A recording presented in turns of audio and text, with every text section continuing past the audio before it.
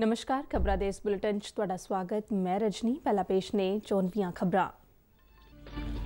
ਕੇਂਦਰੀ ਵਿੱਤ ਮੰਤਰੀ ਨਿਰਮਲਾ ਸੀਤਾਰਮਨ ਨੇ ਰਾਜ ਸਭਾ ਵਿੱਚ ਬਜਟ 2021-22 ਤੇ ਚਰਚਾ ਦਾ ਜਵਾਬ ਦਿੰਦਿਆਂ ਕਿਹਾ ਕਿ ਮੋਦੀ ਸਰਕਾਰ ਨੇ ਹਮੇਸ਼ਾ ਹੀ ਦੇਸ਼ ਨੂੰ ਅੱਗੇ ਵਧਾਉਣ ਦਾ ਕੰਮ ਕੀਤਾ ਹੈ ਨਿਰਮਲਾ ਸੀਤਾਰਮਨ ਨੇ ਕਿਹਾ ਕਿ ਇਸ ਵਾਰ ਦਾ ਬਜਟ ਆਤਮ ਨਿਰਭਰ ਭਾਰਤ ਨੂੰ ਸਾਕਾਰ ਕਰਨ ਵਾਲਾ ਬਜਟ ਹੈ।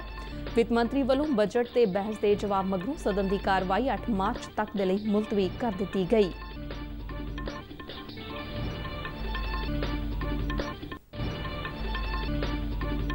ਰੱਖਿਆ ਮੰਤਰਾਲੇ ਨੇ ਸਪਸ਼ਟ ਕੀਤਾ ਹੈ ਕਿ ਪੂਰਬੀ ਲਦਾਖ ਦੇ ਵਿੱਚ ਐਲਏਸੀ ਤੇ ਵਿਵਾਦਤ ਮੁੱਦੇ ਤੇ ਚੀਨ ਦੇ ਨਾਲ ਹੋਏ ਸਮਝੌਤੇ ਦੇ ਵਿੱਚ ਭਾਰਤ ਨੇ ਕੋਈ ਜ਼ਮੀਨ ਨਹੀਂ ਛੱਡੀ ਹੈ।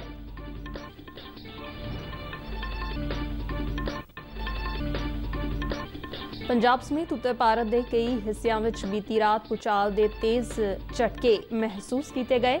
ਰਿਕਟਰ ਪੈਮਾਨੇ ਤੇ ਇਹਨਾਂ ਝਟਕਿਆਂ ਦੀ ਤੀਬਰਤਾ 6.3 ਮਾਪੀ ਗਈ।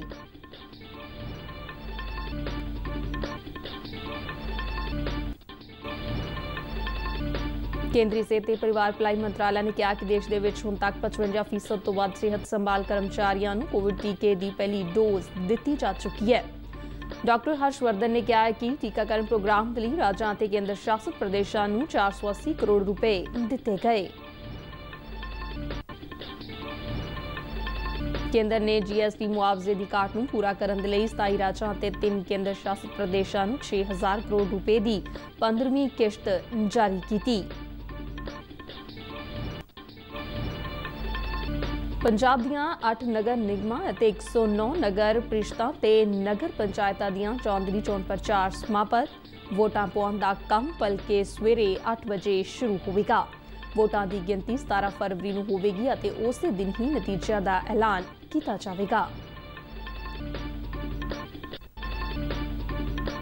ਭਾਰਤ ਅਤੇ ਇੰਗਲੈਂਡ ਵਿਚਾਲੇ ਦੂਜਾ ਕ੍ਰਿਕਟ ਟੈਸਟ ਮੈਚ ਅੱਜ ਚੇਨਈ ਦੇ ਵਿੱਚ ਸ਼ੁਰੂ ਹੋਵੇਗਾ। ਤੇ ਹੁਣ ਖਬਰਾਂ ਵਿਸਥਾਰ ਨਾਲ। ਕੇਂਦਰੀ ਵਿੱਤ ਮੰਤਰੀ ਨਿਰਮਲਾ ਸੀਤਾਰਮਨ ਨੇ ਕੱਲ ਰਾਜ ਸਭਾ ਦੇ ਵਿੱਚ ਬਜਟ 2021-22 ਤੇ ਚਰਚਾ ਦਾ ਜਵਾਬ ਦਿੰਦਿਆਂ ਕਿਹਾ ਕਿ ਮੋਦੀ ਸਰਕਾਰ ਨੇ ਹਮੇਸ਼ਾ ਹੀ ਦੇਸ਼ ਨੂੰ ਅੱਗੇ ਵਧਾਉਣ ਦਾ ਕੰਮ ਕੀਤਾ ਹੈ ਉਨ੍ਹਾਂ ਕਿਹਾ ਕਿ ਇਸ ਵਾਰ ਦਾ ਬਜਟ ਆਤਮ ਨਿਰਭਰ ਭਾਰਤ ਨੂੰ ਸਾਕਾਰ ਕਰਨ ਵਾਲਾ ਬਜਟ ਹੈ। ਵਿੱਤ ਮੰਤਰੀ ਨੇ ਕਿਹਾ ਕਿ ਪ੍ਰਧਾਨ ਮੰਤਰੀ ਨਰਿੰਦਰ ਮੋਦੀ ਨੂੰ ਵਿਕਾਸ ਅਤੇ ਸੁਧਾਰ ਦੇ ਲਈ ਜਾਣਿਆ ਜਾਂਦਾ ਹੈ ਉਨ੍ਹਾਂ ਕਿਹਾ ਕਿ ਨਵਾਂ ਬਜਟ ਤਜਰਬੇ ਅਤੇ ਗਵਰਨੈਂਸ ਦੀ ਸਮਰੱਥਾ ਨੂੰ ਦਰਸਾਉਣ ਵਾਲਾ ਹੈ Members have taken very keen uh, interest and have also gone through the details of the budget which is presented, a budget which is for Atmanirbhar Bharat.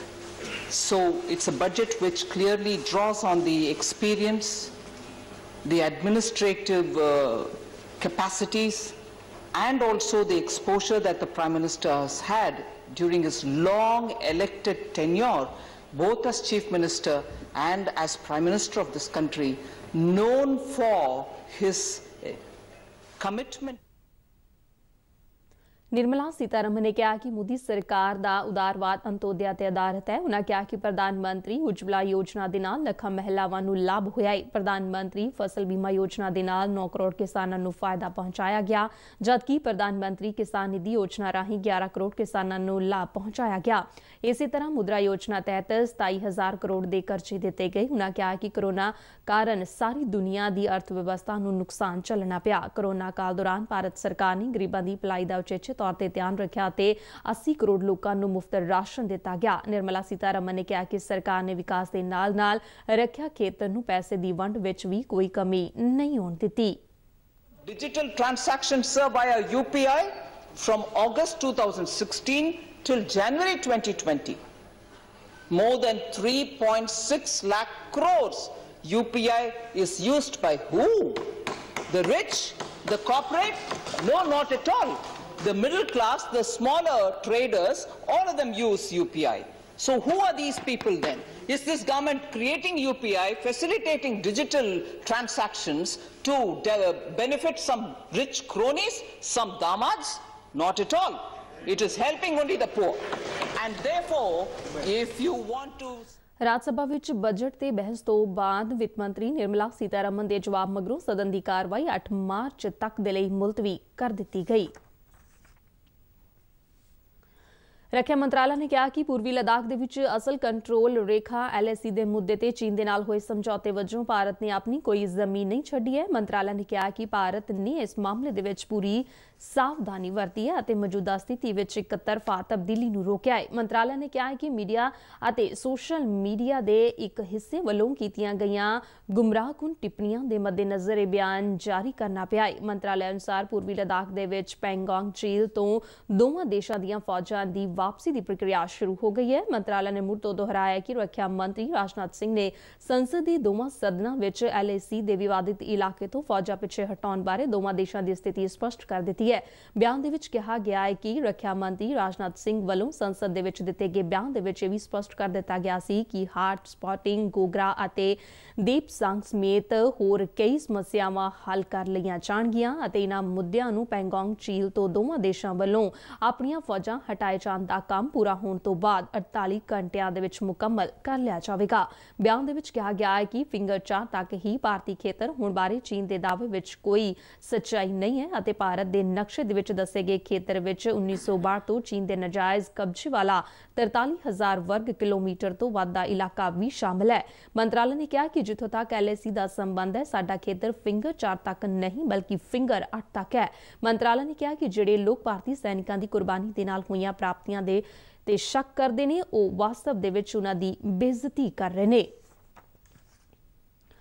ਕੇਂਦਰੀ ਦਿਹਾਤੀ ਵਿਕਾਸ ਮੰਤਰੀ ਨਰਿੰਦਰ ਸਿੰਘ ਤੋਮਰ ਨੇ ਕਿਹਾ ਹੈ ਕਿ ਜਦ ਵੀ ਮਨਰੇਗਾ ਦੀ ਮੰਗ ਆਉਂਦੀ ਹੈ, ਇਸ ਨੂੰ ਪੂਰ ਕਰਨ ਦੇ ਲਈ ਯਤਨ ਕੀਤੇ ਜਾਂਦੇ ਨੇ। ਰਾਜ ਸਭਾ ਦੇ ਵਿੱਚ ਇੱਕ ਸਵਾਲ ਦੇ ਜਵਾਬ ਦੇ ਵਿੱਚ ਨਰਿੰਦਰ ਸਿੰਘ ਤੋਮਰ ਨੇ ਕਿਹਾ ਕਿ ਮਨਰੇਗਾ ਦੀ ਮੰਗ ਦੇ ਵਿੱਚ ਵਾਧੇ ਮਗਰੋਂ ਬਜਟ ਵਧਾਇਆ ਗਿਆ। ਉਹਨਾਂ ਕਿਹਾ ਕਿ ਮੌਜੂਦਾ ਮਾਲੀ ਵਰੇ ਦੌਰਾਨ ਮਨਰੇਗਾ ਸਕੀਮ ਦੇ ਲਈ ਰੱਖੇ ਗਈ 1 ਲੱਖ 11 ਹਜ਼ਾਰ ਕਰੋੜ ਤੋਂ ਵੱਧ ਦੀ ਰਕਮ ਚੋਂ ਕੋਈ 90 ਹਜ਼ਾਰ ਕਰੋੜ ਪਹਿਲਾਂ ਹੀ ਸੂਬਿਆਂ ਨੂੰ ਦਿੱਤੇ ਜਾ ਚੁੱਕੇ ਨੇ।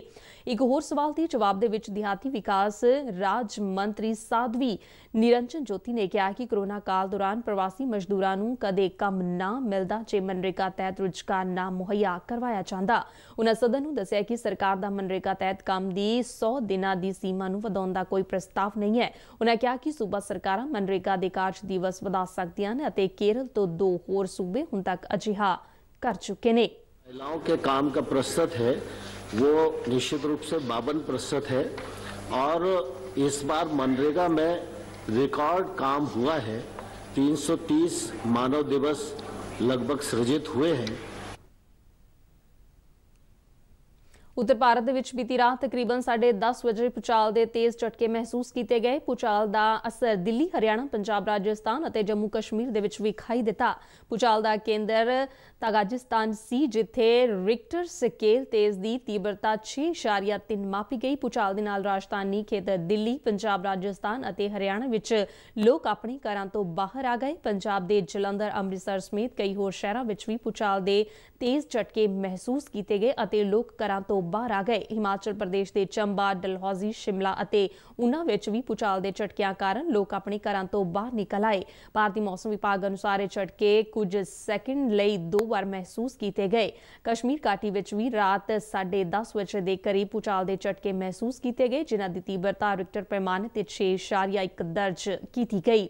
ਪੰਜਾਬ ਦੇ ਮੁੱਖ ਮੰਤਰੀ ਕੈਪਟਨ ਅਮਰਿੰਦਰ ਸਿੰਘ ਨੇ ਕਿਹਾ ਕਿ ਇਸ ਪੁਚਾਲ ਕਾਰਨ ਅੰਮ੍ਰਿਤਸਰ ਜਾਂ ਪੰਜਾਬ ਦੇ ਹੋਰਨਾਂ ਹਿੱਸਿਆਂ ਵਿੱਚ ਜਾਨ ਮਾਲ ਦੇ ਨੁਕਸਾਨ ਦੀ ਕੋਈ ਸੂਚਨਾ ਨਹੀਂ ਹੈ। ਉਨ੍ਹਾਂ ਕਿਹਾ ਕਿ ਪੰਜਾਬ ਪੁਲਿਸ ਅਤੇ ਜ਼ਿਲ੍ਹਾ ਪ੍ਰਸ਼ਾਸਨ ਦੇ ਉੱਚ ਅਧਿਕਾਰੀ ਸਥਿਤੀ ਤੇ ਲਗਾਤਾਰ ਨਜ਼ਰ ਰੱਖ ਰਹੇ ਨੇ। ਇੱਕ ਟਵੀਟ ਦੇ ਵਿੱਚ ਮੁੱਖ ਮੰਤਰੀ ਨੇ ਸਾਰਿਆਂ ਦੀ ਸੁਰੱਖਿਆ ਦੇ ਲਈ ਪ੍ਰਾਰਥਨਾ ਕੀਤੀ। ਕੇਂਦਰੀ ਸਿਹਤ ਅਤੇ ਪਰਿਵਾਰ ਭਲਾਈ ਮੰਤਰਾਲਾ ਨੇ ਕਿਹਾ ਕਿ ਹੁਣ ਤੱਕ ਦੇਸ਼ ਵਿੱਚ 55% ਤੋਂ ਵੱਧ ਸਿਹਤ ਸੰਭਾਲ ਕਰਮਚਾਰੀਆਂ ਨੂੰ ਕੋਵਿਡ-19 ਟੀਕੇ ਦੀ ਪਹਿਲੀ ਡੋਜ਼ ਦਿੱਤੀ ਜਾ ਚੁੱਕੀ ਹੈ। ਸਿਹਤ ਤੇ ਪਰਿਵਾਰ ਭਲਾਈ ਮੰਤਰੀ ਡਾਕਟਰ ਹਰਸ਼ਵਰਧਨ ਨੇ ਲੋਕ ਸਭਾ ਨੂੰ ਦੱਸਿਆ ਫਰੰਟ ਲਾਈਨ ਵਰਕਰਾਂ ਦਾ ਟੀਕਾਕਰਨ ਵੀ ਇਸ ਮਹੀਨੇ ਦੀ 2 ਫਰਵਰੀ ਤੋਂ ਸ਼ੁਰੂ ਕਰ ਦਿੱਤਾ ਗਿਆ ਹੈ। ਉਨ੍ਹਾਂ ਕਿਹਾ ਕਿ ਟੀਕਾਕਰਨ ਪ੍ਰਸ਼ਾਸਨ ਬਾਰੇ ਕੌਮੀ ਮਾਹਰ ਸਮੂਹ ਵੱਲੋਂ ਸਿਹਤ ਸੰਭਾਲ ਕਰਮਚਾਰੀਆਂ ਤੇ ਫਰੰਟ ਲਾਈਨ ਵਰਕਰਾਂ ਦੇ ਟੀਕਾਕਰਨ ਦੇ ਲਈ ਚਲਾਈ ਜਾ ਰਹੀ ਪ੍ਰਕਿਰਿਆ ਦੇ ਇੱਕ ਹਿੱਸੇ ਵਜੋਂ ਇਹਨਾਂ ਨੂੰ ਲਾਭਪਾਤਰੀਆਂ ਵਜੋਂ ਤਰਜੀਹ ਦਿੱਤੀ ਗਈ ਹੈ। ਉਨ੍ਹਾਂ ਦੱਸਿਆ ਕਿ 28 ਦਿਨਾਂ ਦੇ ਫਾਸਲੇ ਦੇ ਨਾਲ ਕੋਵਿਡ-19 ਟੀਕੇ ਦੀਆਂ ਦੋ ਡੋਜ਼ਾਂ ਮੁਕੰਮਲ ਕਰਨ ਦੀ ਲੋੜ ਹੈ। ਉਨ੍ਹਾਂ ਕਿਹਾ ਕਿ ਤਕਰੀਬਨ 14 ਦਿਨ ਬਾਅਦ ਟੀਕੇ ਦੀ ਦੂਜੀ ਡੋਜ਼ ਲੈਣ ਦੇ ਨਾਲ ਕੋਰੋਨਾ ਵਾਇਰਸ ਵਿਰੁੱਧ ਲੜਾਈ ਦੀ ਤਾਕਤ ਵਿਕਸਿਤ ਹੋ ਜਾਂਦੀ ਹੈ। ਉਨ੍ਹਾਂ ਦੱਸਿਆ ਹੈ ਕਿ ਇਹਨਾਂ ਟੀਕਿਆਂ ਦੀ ਸਪਲਾਈ ਦੇ ਲਈ ਸਰਕਾਰ ਵੱਲੋਂ 410 ਲੱਖ ਡੋਜ਼ਾਂ ਦੇ ਆਰਡਰ ਦਿੱਤੇ ਗਏ ਨੇ, ਜਿਨ੍ਹਾਂ ਵਿੱਚ ਕੋਵੈਕਸ ਸਹੂਲਤ ਰਾਹੀਂ 100 ਲੱਖ ਡੋਜ਼ਾਂ ਹਾਸਲ ਕੀਤੀਆਂ ਜਾ ਚੁੱਕੀਆਂ ਨੇ। ਉਨ੍ਹਾਂ ਦੱਸਿਆ ਕਿ ਕੋਵਿਡ-19 ਟੀਕਾਕਰਨ ਪ੍ਰੋਗਰਾਮ ਦੀ ਆਪਰੇਸ਼ਨਲ ਲਾਗਤ ਦੇ ਲਈ ਰਾਜਾਂ ਅਤੇ ਕੇਂਦਰ ਸ਼ਾਸਿਤ ਪ੍ਰਦੇਸ਼ਾਂ ਨੂੰ 480 ਕਰੋੜ ਰੁਪਏ ਦਿੱਤੇ ਗਏ ਨੇ। इसमें कोई महीनों या सालों लगते हैं ऐसी कोई परिस्थिति नहीं होती है। इसके लिए एक्सपर्ट्स की वेल डिफाइंड कमेटीज जो है वो हॉस्पिटल लेवल पर भी बनी हुई हैं और स्वास्थ्य मंत्रालय के लेवल पर समय तो लगता है मंत्री जी। और और और सरकार का सरकार का और व्यवस्था का ये प्रयास होता है कि उसको जल्दी से जल्दी जो है आप उसको इसको इसके लिए ਕੇਂਦਰ ਸਰਕਾਰ ਲੋਕਾਂ ਨੂੰ ਵਾਜਬ ਦਰਾਂ ਤੇ ਮਿਆਰੀ ਦਵਾਈਆਂ ਉਪਲਬਧ ਕਰਵਾਉਣ ਦੇ ਲਈ ਹਰ ਬਲਾਕ ਦੇ ਵਿੱਚ ਜਨ ਔਸ਼ਧੀ ਕੇਂਦਰ ਸਥਾਪਿਤ ਕਰਨ ਤੇ ਕੰਮ ਕਰ ਰਹੀ ਹੈ।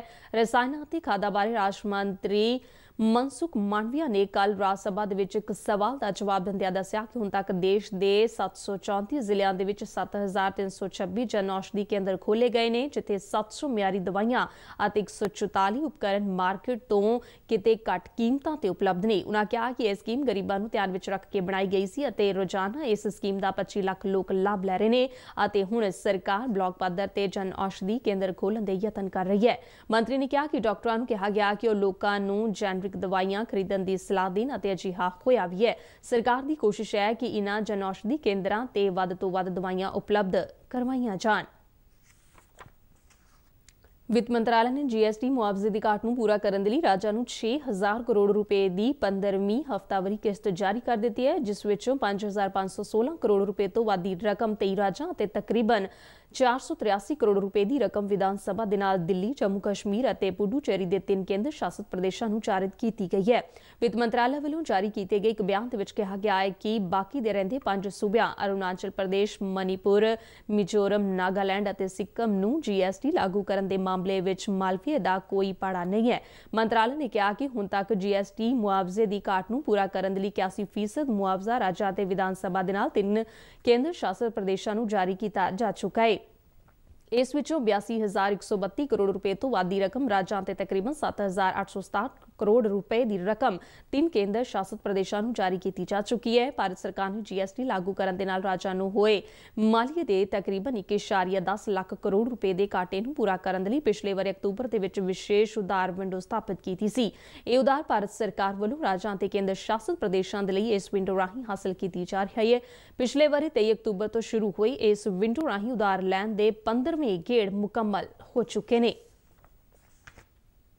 ਪੰਜਾਬ ਦੀਆਂ 8 ਨਗਰ ਨਿਗਮਾਂ ਅਤੇ 109 ਨਗਰ ਪ੍ਰੀਸ਼ਦਾਂ ਤੇ ਨਗਰ ਪੰਚਾਇਤਾਂ ਦੀਆਂ ਚੋਣਾਂ ਦੇ ਲਈ ਚੋਣ ਪ੍ਰਚਾਰ ਕੱਲ ਸਮਾਪਤ ਹੋ ਗਿਆ ਹੈ ਪੰਜਾਬ ਰਾਜ ਚੋਣ ਕਮਿਸ਼ਨ ਦੇ ਇੱਕ ਬੁਲਾਰੇ ਨੇ ਚੰਡੀਗੜ੍ਹ ਦੇ ਵਿੱਚ ਦੱਸਿਆ ਕਿ ਇਨ੍ਹਾਂ ਚੋਣਾਂ ਦੇ ਲਈ ਡਿਊਟੀ ਤੇ ਲਗਾਈਆਂ ਗਈਆਂ ਪੋਲਿੰਗ ਪਾਰਟੀਆਂ ਨੂੰ ਅੱਜ ਲੋੜੀਂਦੀ ਚੋਣ ਸਮੱਗਰੀ ਅਤੇ ਇਲੈਕਟ੍ਰੋਨਿਕ ਵੋਟਿੰਗ ਮਸ਼ੀਨਾਂ ਦਿੱਤੀਆਂ ਜਾਣਗੀਆਂ ਤੇ ਵੋਟਾਂ ਪਾਉਣ ਦਾ ਕੰਮ ਪਲਕੇ ਸਵੇਰੇ 8 ਵਜੇ ਸ਼ੁਰੂ ਹੋਵੇਗਾ ਤੇ ਬਾਅਦ ਦੁਪਹਿਰ 4 ਵਜੇ ਤੱਕ ਜਾਰੀ ਰਹੇਗਾ। ਬੁਲਾਰੇ ਨੇ ਕਿਹਾ ਕਿ ਜਿਹੜੇ ਵੋਟਰ ਸ਼ਾਮ 4 ਵਜੇ ਤੱਕ ਪੋਲਿੰਗ ਬੂਥਾਂ ਅੰਦਰ ਦਾਖਲ ਹੋ ਜਾਣਗੇ ਉਹਨਾਂ ਨੂੰ ਵੋਟਾਂ ਪਾਉਣ ਦਾ ਮੌਕਾ ਦਿੱਤਾ ਜਾਵੇਗਾ। ਉਹਨਾਂ ਕਿਹਾ ਕਿ ਵੋਟਾਂ ਦੀ ਗਿਣਤੀ 17 ਫਰਵਰੀ ਨੂੰ ਸਵੇਰੇ 9 ਵਜੇ ਸ਼ੁਰੂ ਹੋਵੇਗੀ ਅਤੇ ਉਸੇ ਦਿਨ ਹੀ ਨਤੀਜਿਆਂ ਦਾ ਐਲਾਨ ਕਰ ਦਿੱਤਾ ਜਾਵੇਗਾ। ਇਸੇ ਚੋਣਾਂ ਦੇ ਲਈ ਕੁੱਲ 9222 ਉਮੀਦਵਾਰ ਮੈਦਾਨ ਵਿੱਚ ਨੇ, ਜਿਨ੍ਹਾਂ ਵਿੱਚੋਂ 2832 ਆਜ਼ਾਦ ਤੌਰ ਤੇ ਚੋਣਾਂ ਲੜ ਰਹੇ ਨੇ। ਕਾਂਗਰਸ ਦੇ 2037 ਸ਼੍ਰੋਮਣੀ ਅਕਾਲੀ ਦਲ ਦੇ 1569 ਭਾਰਤੀ ਜਨਤਾ ਪਾਰਟੀ ਦੇ 1003 ਅਤੇ ਆਮ ਆਦਮੀ ਪਾਰਟੀ ਦੇ 1606 ਉਮੀਦਵਾਰ ਚੋਣ ਮੈਦਾਨ ਵਿੱਚ ਨਿਤਰੇ ਨੇ।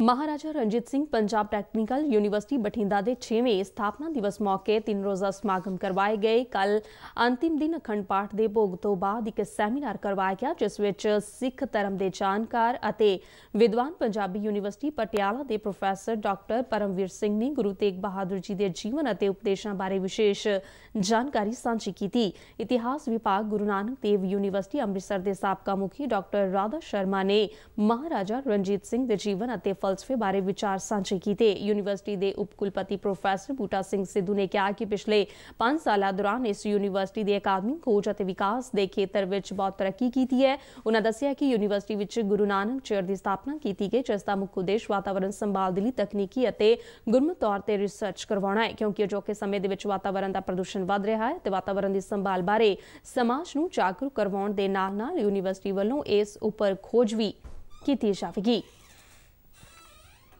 ਇਸ ਦੇ ਨਾਲ ਹੀ ਖਬਰਾਂ ਦਾ ਇਹ ਬੁਲੇਟਿਨ ਖਤਮ ਹੁੰਦਾ ਹੈ। ਨਮਸਕਾਰ।